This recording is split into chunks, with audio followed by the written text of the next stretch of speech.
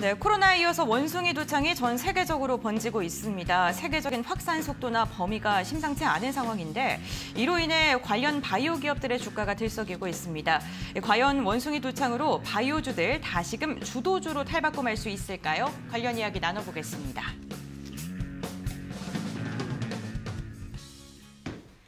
네, 제약 바이오주들이 긴 조정을 끝으로 해서 원숭이 두창으로 다시금 주도주로 탈바꿈 될 수 있을지 이에 대한 이야기 나눠보겠습니다. 좀 현재 자, 제약 바이오주의 상황이 좀 어떤가요?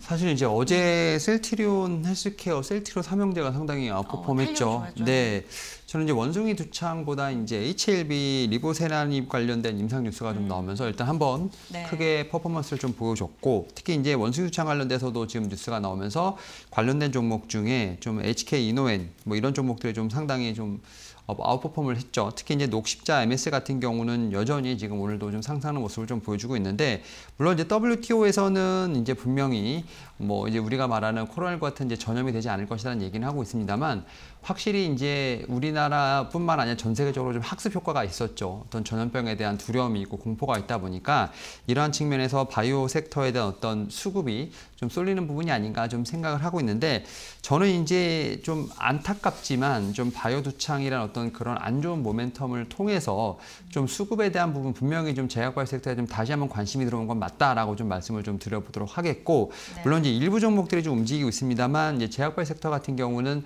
작년부터 사실 너무 투심이 좋지 않았기 때문에 거의 이제 바닥권이라고 좀 봐도 되지 않을까 좀 생각을 하고 있는데 최근에 이제 보게 된다면 정책적으로 봐도 그렇고 뭐 이제 자체적인 모멘텀으로 봐더라 보더라도 좀 하반기에는 이제 좀 올라올 수 있는 여력이 좀 많이 있다라고 좀 생각이 드는데 일단 뭐 윤석열 정부가 이제 제약바이오 혁신이라는 이제 컨트롤 타워를 설치할 것으로 좀 예상이 되고 있는 부분이 있습니다. 여기서 이제 뭐 산업적인 측면에서 봤을 때 예산이 좀 증가할 수도 있고요. 특히 이제 뭐, 뭐 양성센터를 좀 구축을 하면서 제약발센터의 어떤 육성 의지를 분명히 드러내고 있다는 점 하나의 좀 좋은 모멘텀이 되지 않을까 좀 말씀을 드려보도록 하겠고 네. 특히 이제 CMO 쪽에 대한 부분들이 좀 상당히 관심이 집중되고 있습니다. 특히 이제 4분기부터 뭐 생산 시설 추가된 것이 가동되기도 있고요. 또 이제 뭐 신약 관련돼서는 9월에 이제 6월 종양 학회 같은 이제 좀 어떻게 보면 좀 대면으로 열리지 않았던 그런 이제 이벤트들이 계속 열리기 때문에 뭐 데이터 발표라든지 뭐 파이프라인에 대한 어떤 재평가가 이루어지지 않을까라는 생각을 하면서 분명히 이제 금리 인상과 관련된 부분들 뭐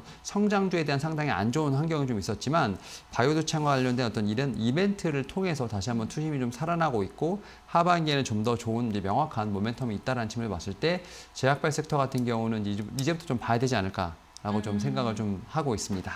네, 그렇군요. 그럼 제약 바이오 중에 좀 파이프라인이 다각화된 그러 있는 종목들로 좀 엄선해서 선별을 해야 된다라고 생각하시나요? 어떻게 바라보시나요? 예, 일단은 뭐 제약발 섹터가 전체가 움직이기보다는 이제 종목 성별이 상당히 선별적으로, 네, 중요할 것 그쵸. 같은데 제가 이제 뭐 앞에서 말씀드렸던 것 중에 이제 CMO 쪽 생산 시설 추가 가동이 좀 개시가 음. 네. 전망되는 게 이제 삼성 바이오로직스죠. 삼성 바이오로직스, 삼성 바이오로직스 네. 같은 경우는 뭐 이제 target price가 이제 110만 원까지 올라가는 음. 어떤 이제 어떻게 보면 CMO 쪽에 상당히 대장주라고 말씀드릴 수 있을 것 같고 네.